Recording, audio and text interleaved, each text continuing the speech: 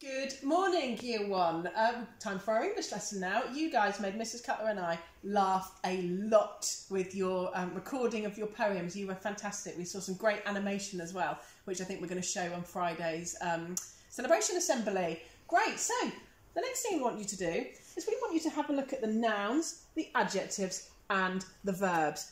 Let's remind ourselves what is a noun? Yep, you are right. It is something we can take a picture of. It's a thing that we can take a picture of. What's an adjective? Great, well done. I can hear you all shouting. An adjective is something that describes a noun. And finally, our final column here is verbs. What's a verb? Slightly trickier.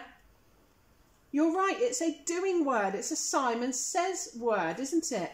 So on tapestry, you have a sheet that looks just like this and you have some words. And I would like you to sort the words out into nouns, adjectives and verbs. Let's see if we can do a few together. What's my first word?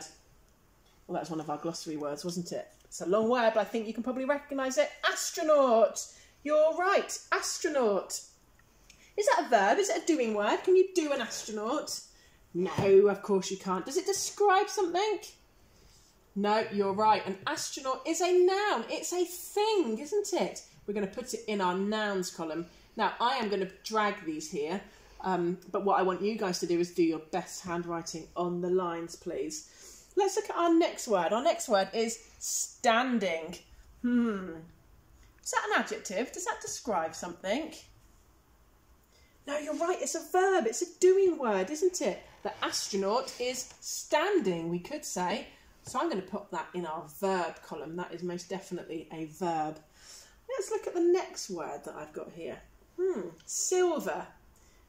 Is that a thing? Can you take a picture of it? It's definitely not a doing word, is it? No, you're right. It's an adjective. It describes a space rocket. The silver space rocket describes a noun. Well done. What's next? Or oh, we can all read that. Moon. Shout out. Where does moon go? Is it a noun? Is it an adjective? Is it a verb? You're right, it's a noun, it's a thing, isn't it? The moon up in the sky. The moon is a thing. We can take a picture of it. Let's look at the next word. Brave. It's definitely not a doing word.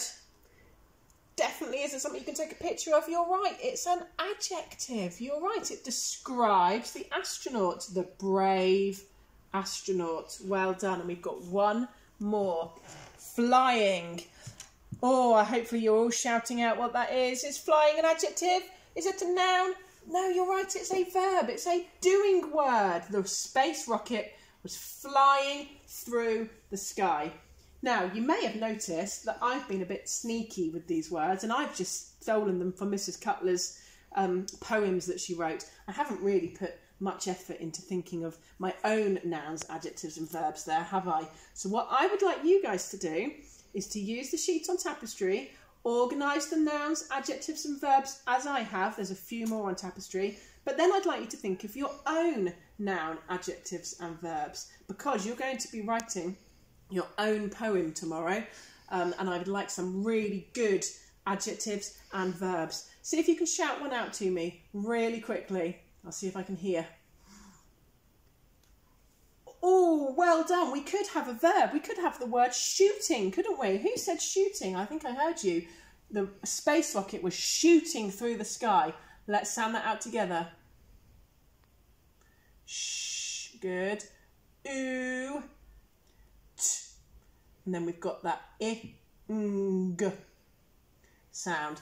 Brilliant. I've thought of my own verb to add to my list, and that's exactly what I want you guys to do. See how many space themed verbs, adjectives, and nouns you guys can come up with ready for writing your poem tomorrow. Have fun.